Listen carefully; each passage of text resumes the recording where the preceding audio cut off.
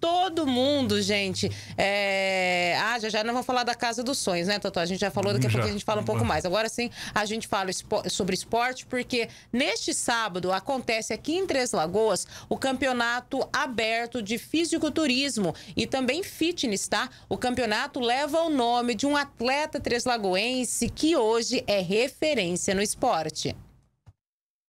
Amado Moura, de 61 anos, foi atleta profissional de fisiculturismo. No passado, o atleta de Três Lagoas conquistou vários títulos, inclusive mundial. As dificuldades e o preconceito foram marcantes, mas, segundo ele, o esporte evoluiu nos últimos anos. O nosso esporte, graças a Deus, evoluiu muito. É, estamos numa. Eu nem imaginava que eu ia viver para ver isso. Estamos num patamar muito mais elevado que até eu imaginava. Então, nosso esporte hoje é referência, sim.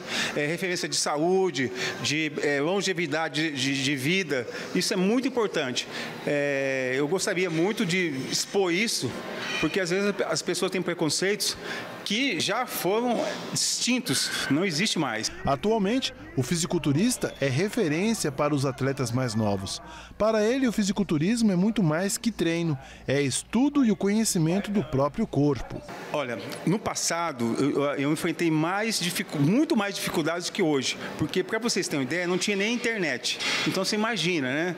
É, hoje a internet hoje ela domina o mundo e ela provavelmente é uma grande evolução para toda a humanidade. E naquela época não existia internet, então a dificuldade era bem maior.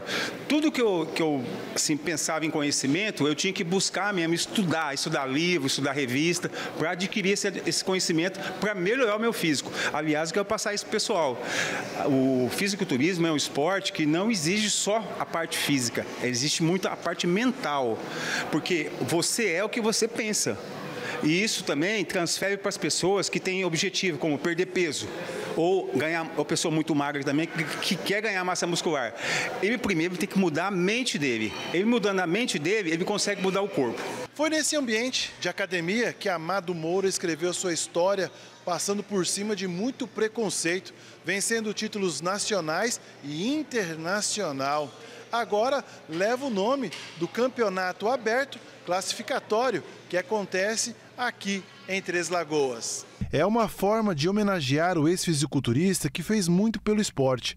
No próximo sábado, atletas fisiculturistas de várias cidades de Mato Grosso do Sul estarão na disputa em busca de uma vaga para o campeonato estadual. Ah, é uma satisfação enorme, né? Eu nem imaginava que eu ia chegar a estar vivo para isso, na verdade. É um classificatório para o Campeonato Estadual IFBMS 2024, que vai ser realizado em Campo Grande, Mato Grosso do Sul, dia 7 e 8 de junho.